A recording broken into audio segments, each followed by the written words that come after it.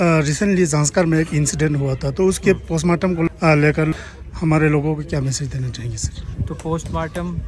जैसा कि हमें ऊपर के अथॉरिटी से ऑर्डर आए कि हम पोस्टमार्टम यहीं पादुम में कराएं जिससे कि सभी जितनी भी हमारी सिविल सोसाइटी है जितने भी हमारे सेक्शन ऑफ द सोसाइटी हैं वो सेटिस्फाई रह सके कि उनके सामने हुआ तो हमने पोस्टमार्टम यहाँ कराया था और उसके सैंपल जितने भी बड़े बड़े इंस्टीट्यूट्स हैं इंडिया के श्रीनगर है पी चंडीगढ़ है वहाँ भेजे गए हैं वो ड्यू प्रोसेस ऑफ टाइम में वो काम कर रहे हैं हम उनसे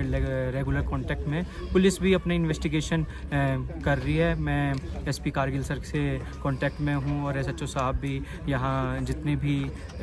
जो भी इन्वेस्टिगेशन है उसमें वो अपने कार्यरत हैं हम पोस्टमार्टम का वेट कर रहे हैं कि पोस्टमार्टम की रिपोर्ट आए और हम आगे इसको कंटिन्यू कर सकें